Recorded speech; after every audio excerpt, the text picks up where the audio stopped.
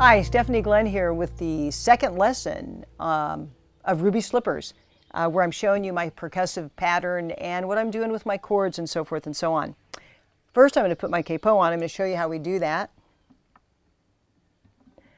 On this song, I capo 3, and I use G, D, E minor, and C.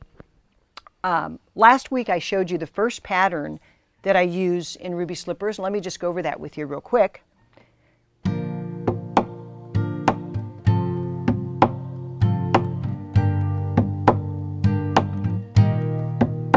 One more time. G, D, E minor, and C.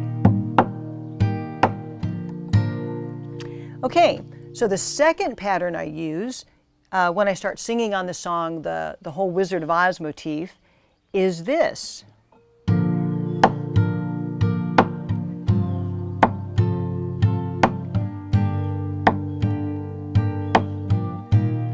This is a little bit easier.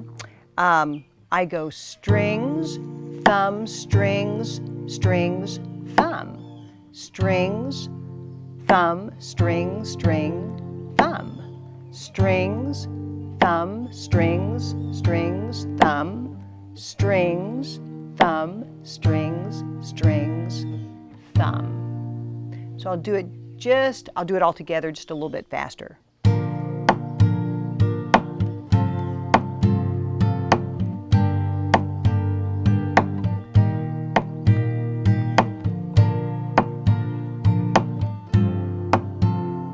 And when I sing, it sounds like this.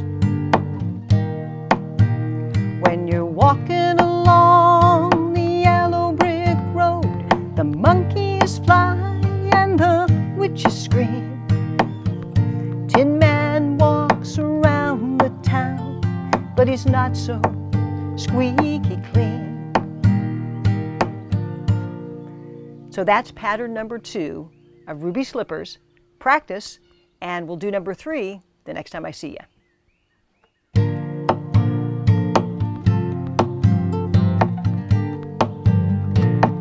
I'll just stay here and have a little fun.